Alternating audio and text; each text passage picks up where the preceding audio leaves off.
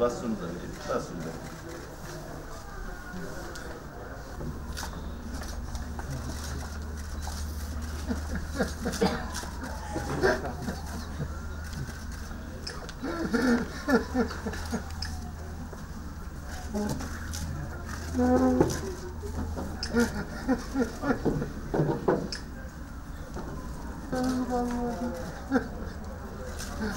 Kimsemiz kalmadı.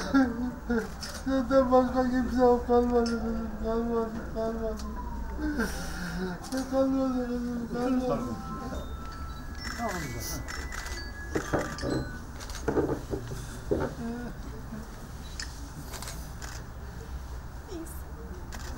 Bir şey yok. Demir bloklar var da ayağımda kızım. Ondan, ondan Kızım 8 yaşında, oğlum 13 yaşında. Kızın yanındaydı değil mi? Kızım kucağımda can verdi. Kurtarmaya yetmedi gücüm. Bir ayağım toprağın taşın altında. Bir omzum altta. Tek elimle taşları kaldıramadım. Karnıma taş geldi. Yatıyorduk. Kızım benimleydi. Oğlum da yanımdaydı. Deprem olduğunu hissettim. Annemi uyandırdım. Anne deprem oluyor dedim. Annemle oğlum Oğlum dedesine düşkün zaten uyandırmaya gidiyorlardı. Kızımı kolundan tuttum uyku sersemi düşmesin diye. Tavanın üstümüze çöktüğünü hissettim. Sadece o. Benim bildiğim kadarıyla 81 saat. Çünkü ben saat 1'i çeyrek geçe çıktığımı hatırlıyorum. Kızımı verdim. Fotoğraflarda saat görünüyor.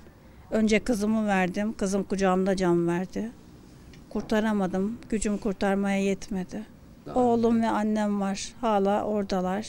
Dördüncü günün sonunda bir ses duydum. Elime taş aldım. Nereye vurduğumu bilmiyorum. Karanlık görmüyorum. Eski eşimin sesini duydum. Beni eski eşim kurtardı. Hastaneye gönderdi. Kızımın mezarını yapmış. Antakya'dan Adana'ya sevk ettiler. Dört gündür de hastanedeyim. Bugün çıktım. Tesellimiz kızımızın mezarı olması ama bir diğer tesellimiz de enkazdaki canlarımızı da çıkartmamız. Onların da bir mezarı olsun. Bu. Ama kimse bunu yaşamasın. Allah kimse kimseyi evladıyla sınamasın. Çok kötü bir duygu. Vallahi o duyguları anlatmak mümkün değil. Yani ölümden döndüm ben. Kızım da öyle. Ben 16 saat, kızım 76 saat enkaz altında kaldı. Allah kimsenin başına böyle bir felaket vermesin ya Rabbi. Yani bu yaşamak, bu olayı kolay atlatmak mümkün değil. Yatak odasındaydım. Duydular sesimi. Öyle beni çıkardılar enkazdan. 16 saat sonra.